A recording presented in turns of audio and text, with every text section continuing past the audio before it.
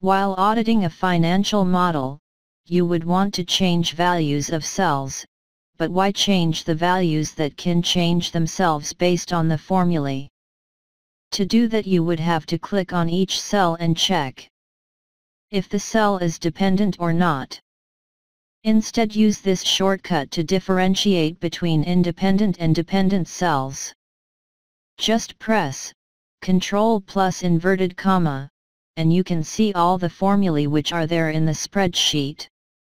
This shortcut doesn't change anything in the Excel, it just changes how it looks. Let's see again, if we press Ctrl plus inverted comma, we can see all the formulae in the Excel in front of us.